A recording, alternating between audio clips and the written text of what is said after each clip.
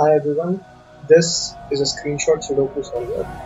I have uploaded a screenshot over here. I have made use of machine learning to extract the numbers in the screenshot. I have populated the numbers here so that they can be verified and corrected if required. Once the solve button is clicked, the Sudoku will be solved.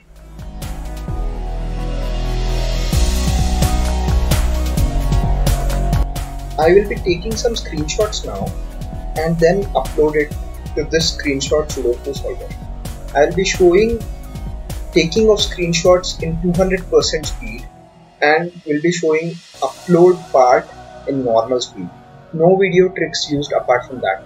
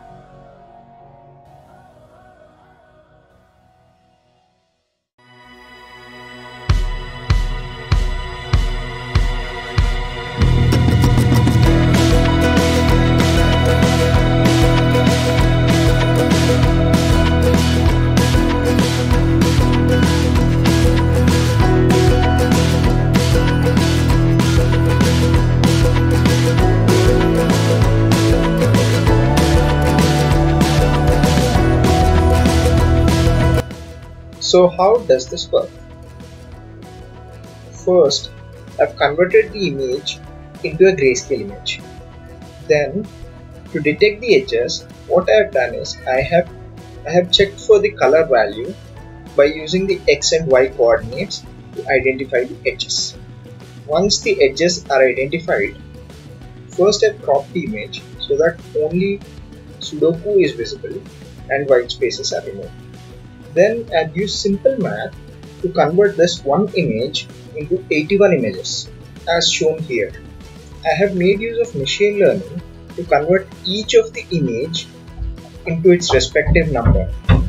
These numbers are then displayed in the UI. I have used an artificial intelligence program to then solve this. How exactly is it done? I'll explain in the program section next.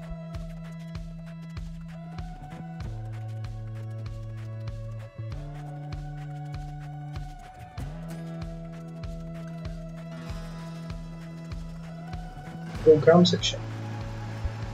In this section, I'm going to explain you what exactly I've done, not just with images and explanation, but also with a Jupyter notebook explanation of the program. Unlike other sections, this section is meant only for programmers. Before going to how exactly I did it, let us evaluate the other options I had that I've tried but didn't work out. PyTesseract. Is a wrapper written on top of Google's OCR. This was a library that was available and it was extremely easy to use. But this OCR wasn't meant for Zero. When I've uploaded an entire image for it to detect, it partially detected some numbers and didn't detect some numbers. The data that it detected was of no use.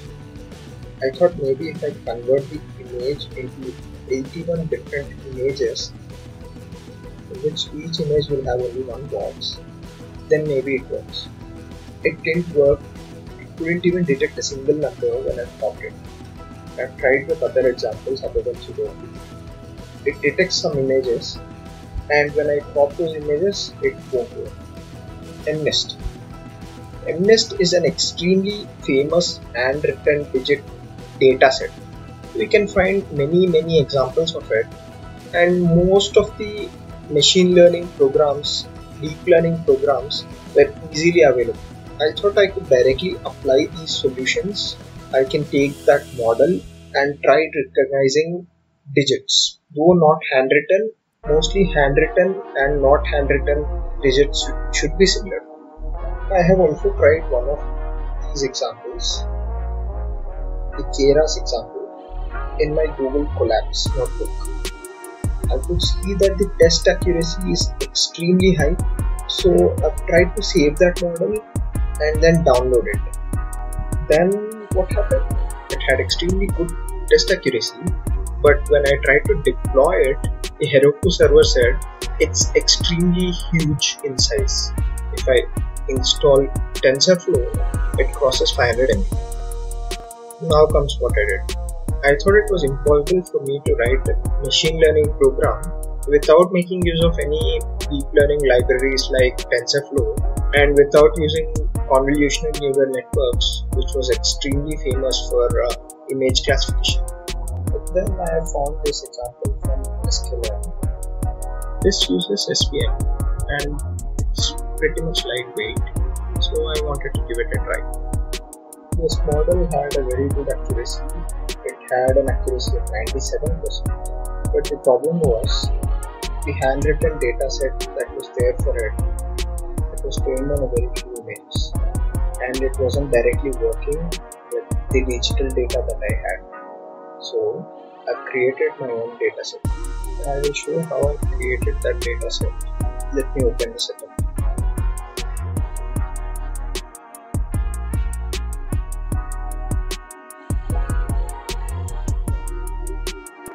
Used React.js to a frontend for this. What exactly this program does is it will let me upload an image and it will let me identify all the numbers that are wrongly identified and when I click on this save images button, the images will go to training.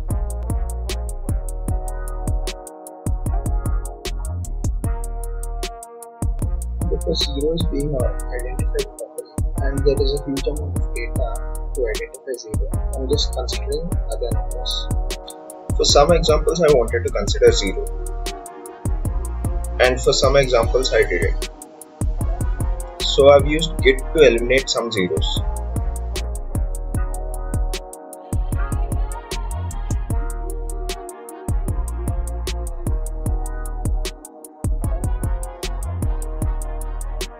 I have used this to train my model. This model is trained by taking the images and converting them to 16 by 16 images and then converting them to an array of 16 into 16 size. This model also had a very good accuracy, it had an accuracy of 96%.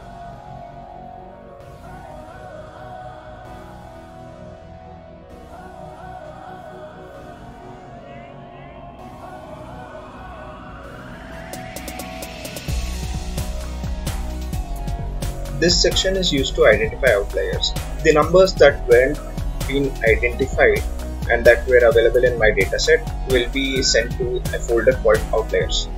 And this is the amount of data I had for each number. You can see that I have a very huge dataset for 0 but uh, for other numbers it wasn't that high. This is the data that wasn't being detected by my model and was available in my dataset.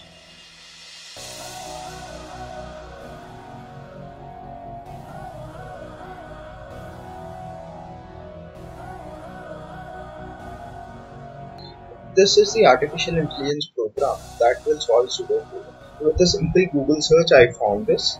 I've made use of this to solve Sudoku. My main challenge was uh, to identify the numbers uh, from the image, from the screenshot. Solving Sudoku wasn't a big challenge for me as it was already available on the internet. This solver works very similar to how we solve Sudoku. It will first eliminate all the numbers that it can with the peers that it has. Easy puzzles will be solved with simple elimination. For hard puzzles, what it does is it will check for least number of possibilities per grid and that least number of possibilities will be replaced by the first possibility first and it will try to solve with it and then if it doesn't work it tries with the other possibility and so on. So that's it for this video. I'll try to leave everything I can in the description below. Thanks for watching.